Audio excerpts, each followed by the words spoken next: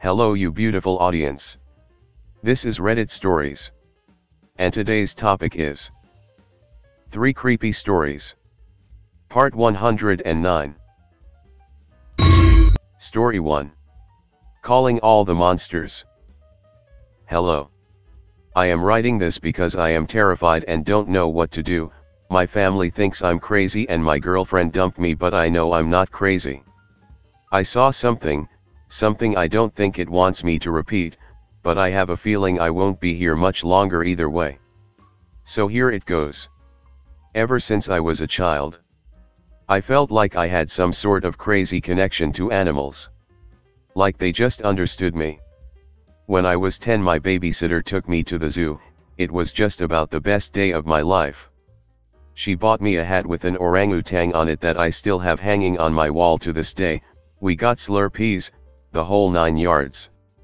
But everything took a turn for the worse once we got to the giraffe exhibit. Something was off about this exhibit, there was only one lone giraffe standing in a dark lonely corner, it was staring at me, menacingly. I became engrossed with observing the creature. My babysitter's mama bear senses went off, or something like that, I guess. Jeffrey, come on, it's time to go. But I wouldn't move. She tried to nudge me along. Jeffrey, I'm not gonna tell you again. She tried to physically move me, but I was glued to the window.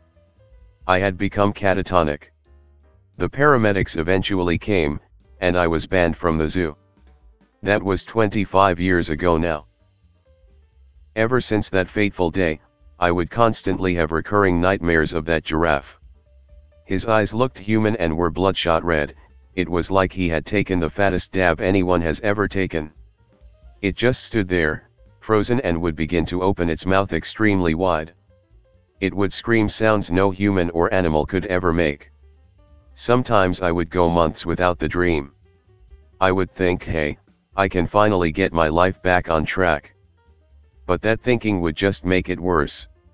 Until a couple nights ago, I had a dream I slayed the beast.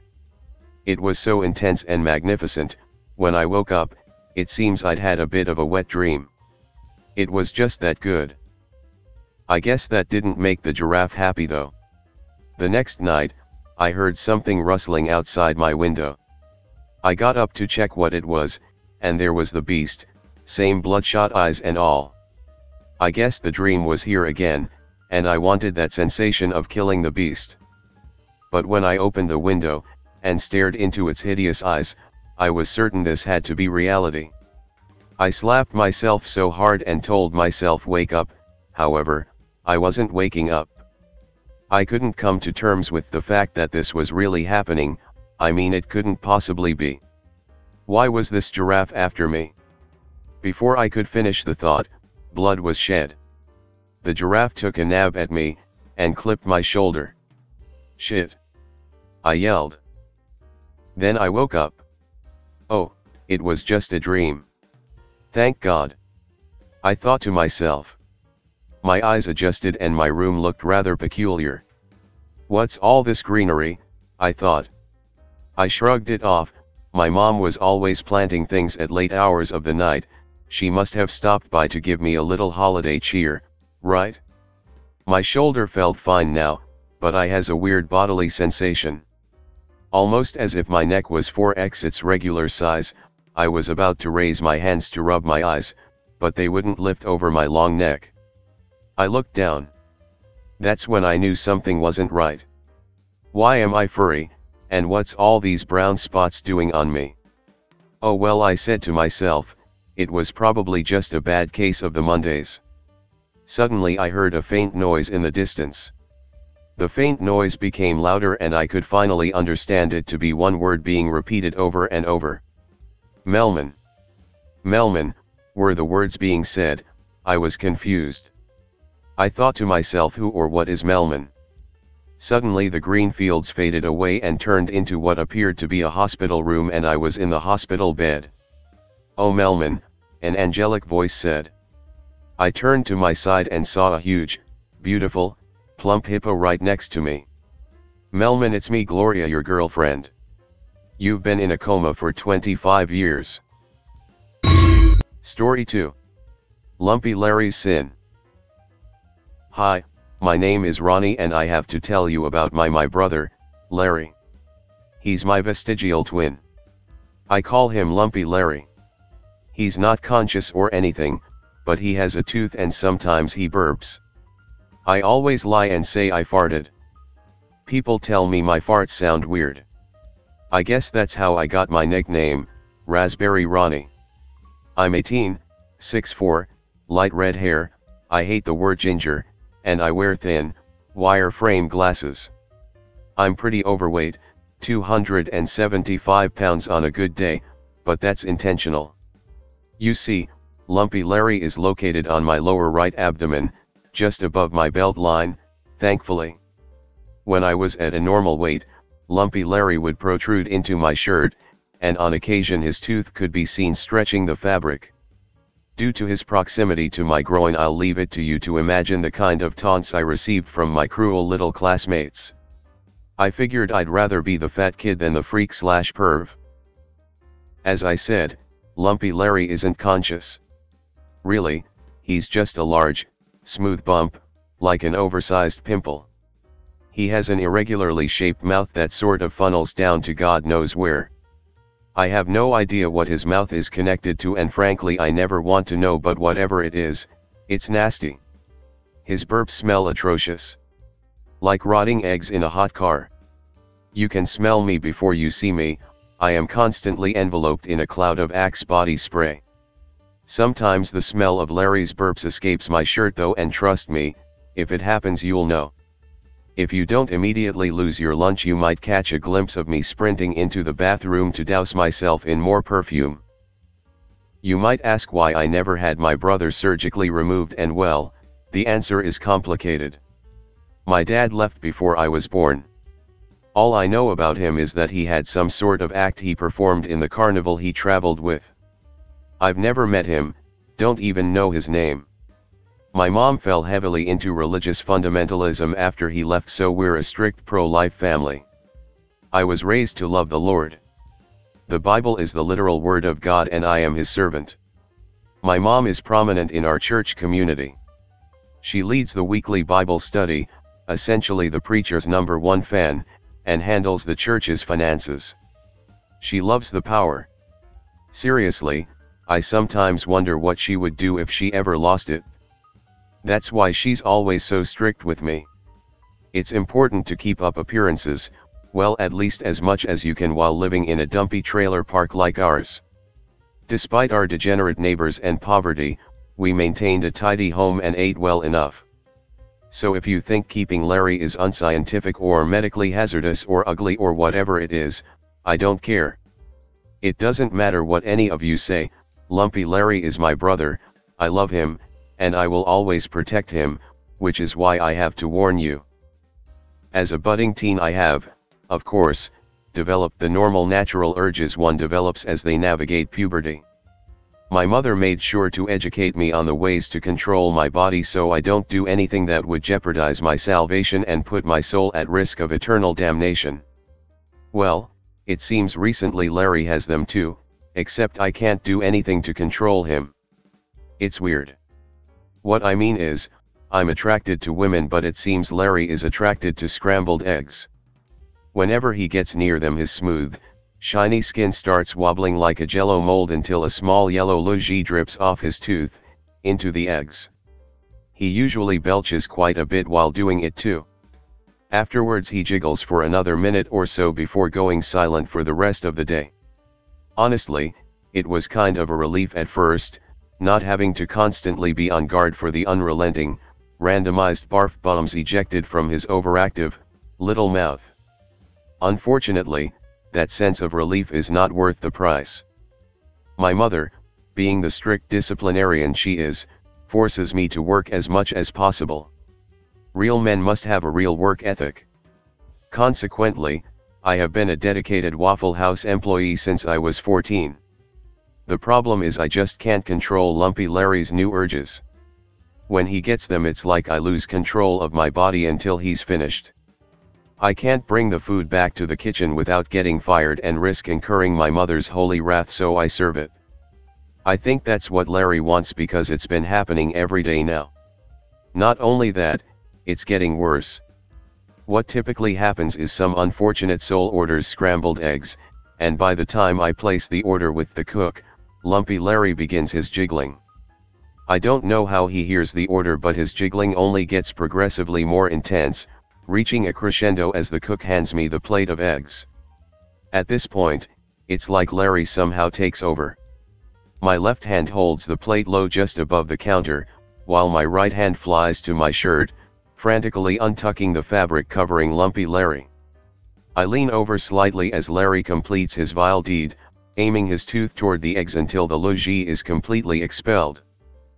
You would never know what had happened, his logis blends right in. It's the same exact shade of yellow and has the consistency of runny yolk. For some odd reason, people never complain. Not once has someone sent back their food after Larry has had his way with it. In fact, some go out of their way to compliment the chef. We're one of the most popular waffle houses in the area. I've never dared to try it because, ew, gross, but I can't lie and say I'm not curious. Now initially I hadn't considered the possibility that Larry's new behavior might be reproductive in nature. At first I suspected he had come down with a cold or something. Then yesterday happened. I remembered her from last week, Chloe Wilton. She was one of the first people Larry fed his love logis to. Real nice lady. I didn't know her well but she kept a big vegetable garden and would sell her produce at a cute little homemade stand every weekend.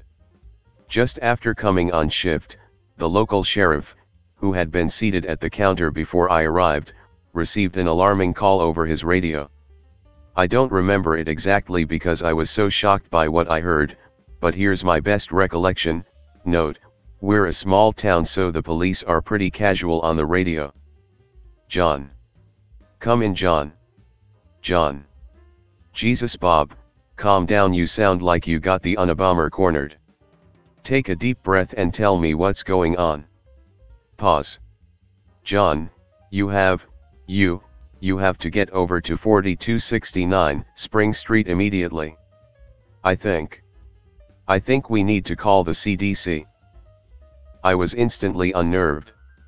I knew that whatever horrible thing was happening at Chloe's house was because of Larry's bad behavior. Unfortunately, the officer bolted out the door before I could gather any other information. I didn't learn of the details until this morning.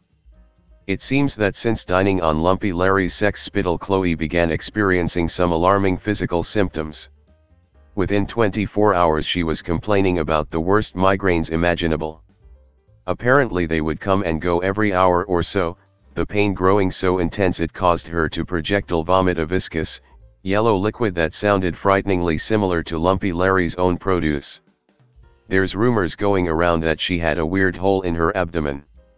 Thankfully those have been mostly dismissed as crackpot nonsense. All I know now is that they found her with a gunshot wound to the head, a .45 revolver in her right hand, and yellow, viscous liquid dripping down the nearby walls. The officer who discovered her body is now complaining of migraines despite having no history of them. I'm afraid. I'm afraid for Larry's soul. Premarital sex is a sin. If I'm honest, I'm slightly afraid that God will punish me alongside Larry. We are brothers after all and I am my brother's keeper. My mom taught me that and I truly believe it. I'm torn between my love for my brother and my love for the Lord. But it doesn't matter. I couldn't stop Larry even if I wanted to. I can feel his urges now. Let me be clear, I am not attracted to scrambled eggs. I'm just saying I can feel what Larry feels when he sees the eggs, and we should all be scared. It's primal, preternatural, predatory, like it's the only thing he was created to do. The urges are getting more intense and more frequent. This morning Larry did the deed twice. That's a first. I think it's just going to pick up now and I don't know what to do. I can't kill myself or my brother without going straight to hell. I can't stop working without being thrown out on my ass and dying in poverty. The only jobs I've ever had are food service as, due to my religious upbringing, I have no formal education. I certainly can't tell anyone I know about this and I absolutely cannot tell my mother about this. That's why I'm telling you, internet strangers. If I can't stop him then the only way to prevent this from getting worse is to warn the public. Hear me, if you ever get served by a fat, nerdy redhead with unusual flatulence, don't order the eggs. Honestly, I don't know what the future holds. My mother just took a new job in a major metro area and we will be moving soon. Our pastor has close connections with a local church there so my mom will be able to keep the same power she has here. They have waffle houses there too so I will just transfer restaurants. And if you think you can avoid Larry by avoiding waffle houses I have to tell you that I often moonlight at various diners for the extra money. Really never know where I might be working if you're in the same city as me, which for the safety of my brother, I will not divulge. Frankly, if I were you, I would never eat eggs again. Story 3. The Plum. Read narrator in English accent, not American. So, last night I had Taco Bell. Spicy chalupa to be exact with a Baja Blast. Now, my stomach has never been the best and I usually don't eat Taco Bell. But this spicy was the worst I've ever experienced in my entire life. Clenching my cheeks so hard so I don't shit my trousers as I rush to my bathroom. I open the toilet, throwing my jeans down as shit starts to come out of my asshole. I will spare the details of how raw my hole was but once I was emptied and felt better, I went to flush but it didn't go down. Sometimes I have plumbing problems but never like this. My shit just couldn't go down no matter how hard I tried it just wouldn't flush. So I had no choice but to call a plumber. Fatbois Plumbing Services, how may we help you? Hey uh my toilet won't flush. I've tried everything I could and I just don't want to take anything apart without it being looked at. We will send someone to check right away sir, please just give us your address. So I gave them my address and heard a bunch of yelling and panic but I guess it could have been busy today. Maybe the whole city's plumbing wasn't doing well. But at the same time, it seemed skeptical. Though maybe it's just because I live alone that I think crazy things. But soon enough they showed, or at least one guy did. He was stocky, long arms and legs, and very little hair, but the most remarkable thing was his abnormally wide or big mouth. His smile literally went from ear to ear whenever he would laugh. Alright, so there's been a street-wide plumbing issue and we know what the issue is. Unfortunately, we have to go under the house and fix the problem. So I'm not surprised you didn't call earlier. He started writing on his little clipboard. How much do you think this all will cost? Or do you not know what the exact problem is? Well, I believe this will be free as it's this whole street so the city should cover it. He then smiled very widely. It was unsettling. He then walked out of the house as if he knew how to get to my plumbing so I wasn't too worried about it. I decided to sit in my living room until he came to tell me what was wrong and give me the rundown. So I waited, watching some scary stories while working on a few documents for my job. At some point, I realized it was starting to get kind of late, but I decided to wait since it could have been quite invasive and may just take a while. So I waited. And waited. And waited some more. But he simply never came back in. It was dark now and I got up, turned the porch light on, and went outside. His truck was gone. He was just completely gone. I was dumbfounded, had he just left without bothering to tell me the problem? I didn't expect him to just up and disappear but I assumed he had nothing important to tell me so he just left. After that I went on with my night, as usual, I put a hot pocket in the microwave, washed some dishes, fished up my paperwork, and before I knew it, it was already 12.30 am. Damn, I need to get to bed. I thought out loud. As I walked to my bedroom, I passed my bathroom and I got a strange feeling like something wasn't right, but I just brushed it off and went to bed, however, I couldn't sleep, Every time I closed my eyes all I could see was that plumber's eerie grin. After a bit, I finally started to drift off into sweet slumber but just as the Sandman came to take me off to dreamland my stomach started to grumble. And I knew that I needed to shit. I jolted up, dripping in a cold sweat, and before I could even think I ran to the bathroom. Shit, that hot pocket went right through me. I said as I sat down on my cold porcelain throne. Again I'll spare you the detail of my gruesome shits, but just know that it left my asshole in shambles.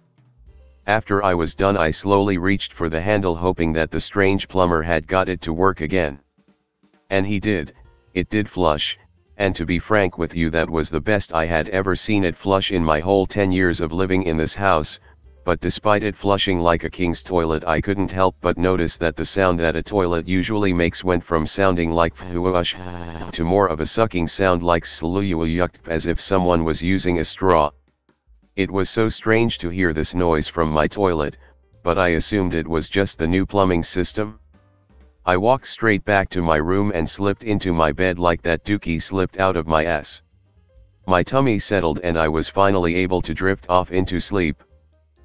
The next morning I was awoken by the piercing beep beep beep sound of my alarm clock letting me know that it was time to start my day.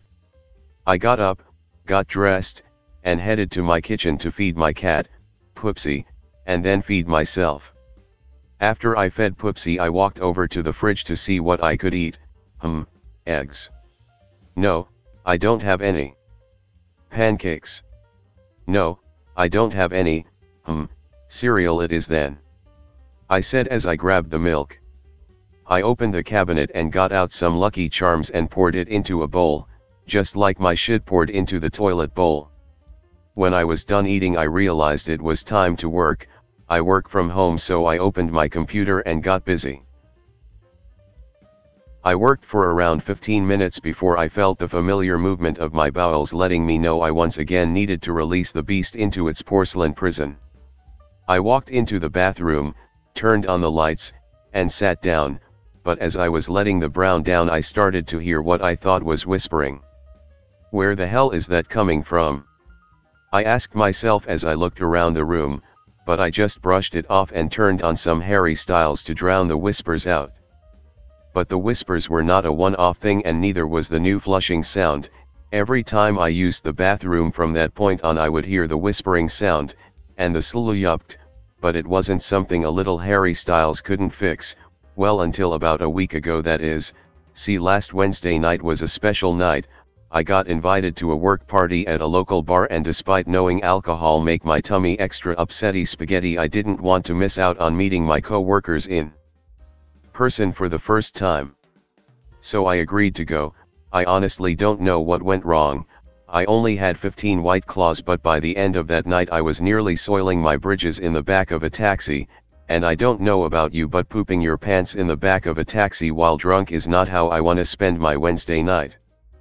Luckily I was able to just make it home and to the bathroom in time, but after I was done I could have sworn that I heard giggling coming from inside the toilet. I stopped all my movements and listened intently. The noises went on for a couple of seconds then suddenly stopped. I couldn't make out any of the whispers but I just knew this had to do with the plumbing company. So I decided to call them. Ryaening.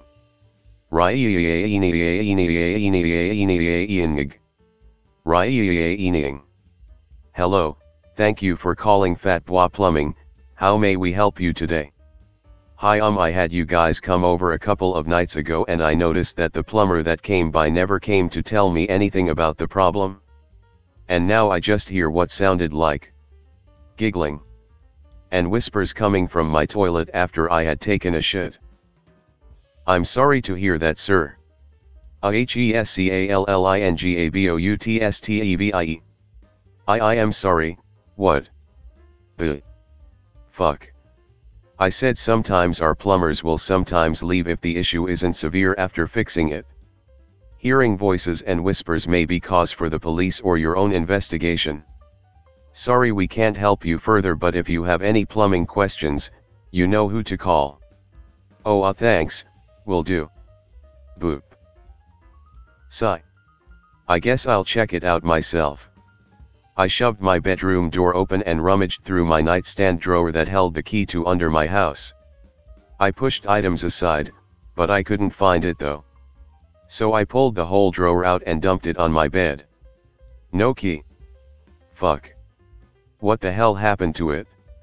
In defeat, I decided I would just go check the latch. The plumber was able to get in so he probably left it down there. So I trudged down the stairs and out of the house. I noticed there was a fat bois plumbing truck at my neighbor's house. How weird I thought to myself. I continued my journey to the side of my house and saw the little door was open and there was no longer a lock there. I swore I put a lock on it. Shaking my head, I pulled my phone out and turned the flashlight on to the highest level. Pushing the door open I noticed a little light coming from where the pipes were. So I slowly got underneath the house and kind of crouched down so as to not hit my head. Then I saw him. The plumber who had inspected my pipes earlier this week. He didn't notice me but his mouth. It was around a pipe, almost like it was gripped on it. It was my toilet pipe. I quickly turned around and suddenly a great force hit me in the head. Falling to the floor, my mind started to shut down and all I could see was a blob of a person standing over me. Then nothing. After what I assume was anywhere from 10 to 30 minutes I started to regain consciousness. I lifted my head up and looked around to assess my surroundings, my head pounding in pain. I realized that I was still in the basement area and then I remembered why I was here, the plumber, the image of his tall skinny body standing by the pipes as his mouth latched around the toilet pipe soon plagued my mind, but before I could dwell on that thought any longer I saw something emerging from out of the shadows, it was the plumber. I quickly tried to stand up and run away but soon realized that I was tied to one of the pipes. Oh diddly darn fuck. I said as the plumber came closer and closer to me until he was mere inches away from my face, his hot shitty breath piercing my nostrils. H-E-L-L-O-J-O-S-H-U-A he said as his mouth twisted into a sharp grin. W-A what do you want with me? I-W-A-N-T-Y-O-U-R-P-O-O-P comma J-O-S-H-U-A. W-A what?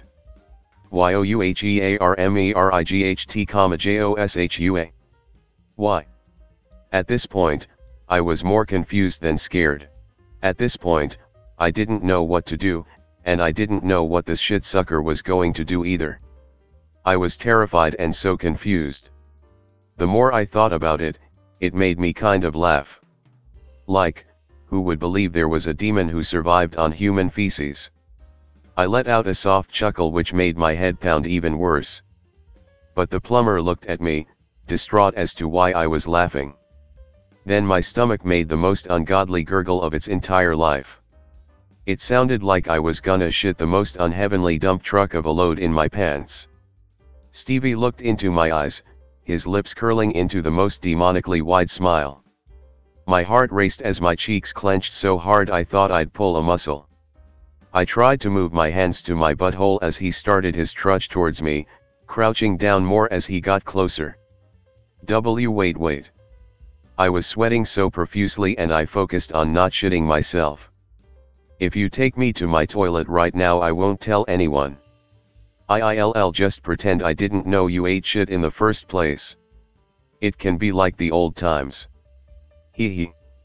His smile slightly dropped but then he spoke deeper than before. O-N-E-W-E-E-K-J-O-S-H-I-E dot I-F-Y-O-U-S-T-O-P-P-O-O-P-I-N-G-I-W-I-L-L-F-I-N-D dot I-F-Y-O-U-T-E-L-L-A-N-Y-O-N-E comma I-W-I-L-L-F-I-N-D-O-U-T dot I-W-I-L-L-E-A-T-Y-O-U-R-B-O-W-E-L-S-A-N-D-T-H-R-O-W-Y. O-U-D-E-E-P-D-E-E-P-D-O-W-N dot. He then untied my arms and sent me outside. I clasped my hands on my ass, in case I shit my trousers. The bathroom was maybe 50 feet away. I got this. I thought to myself.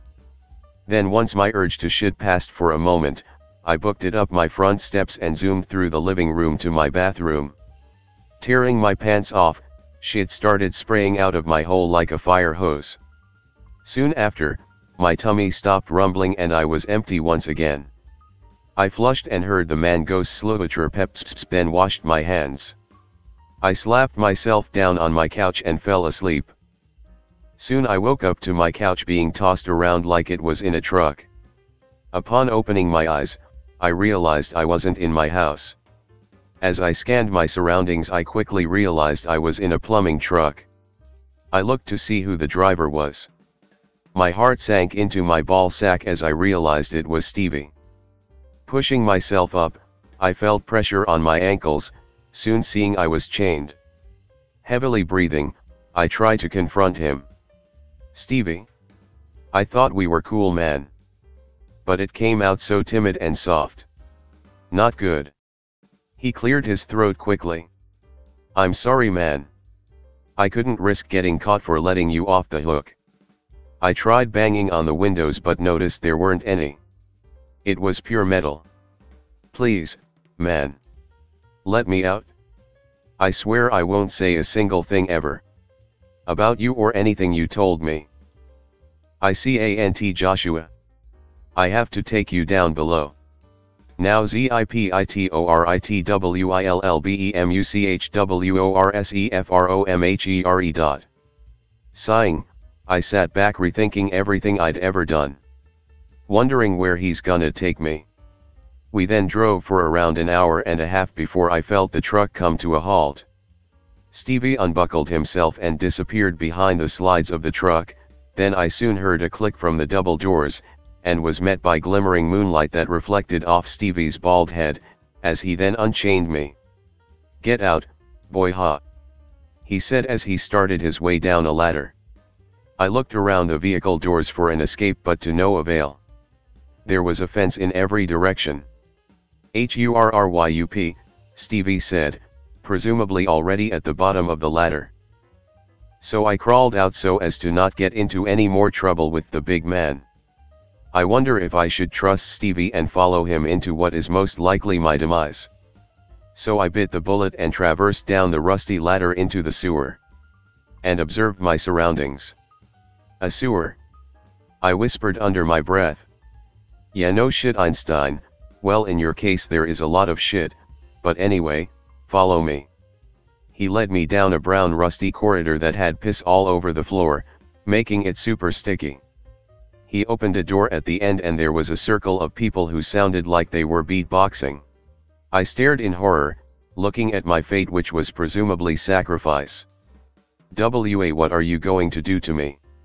I said in a cowardly voice, my hands trembling. You sweat dripped down my ass crack like tears dripped down my face.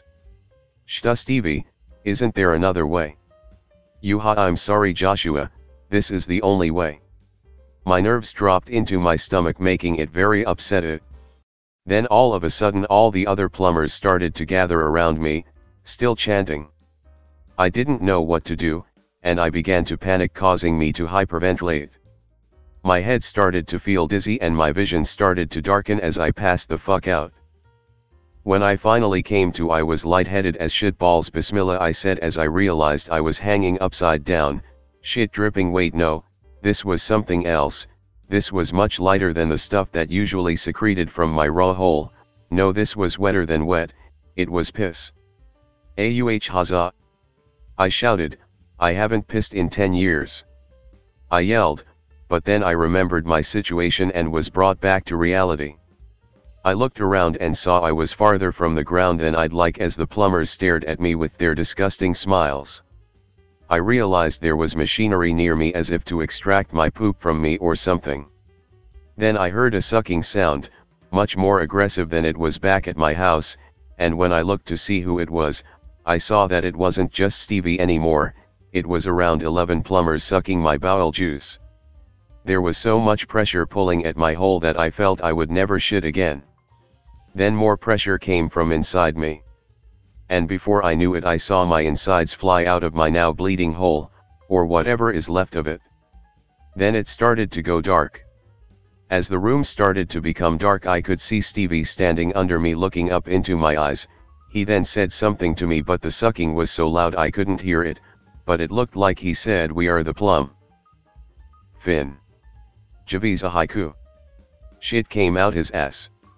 The shit came super fast. The poop to my cock. This marks the end of the video. If you like my content, consider subscribing as it helps me a lot. See you until next time.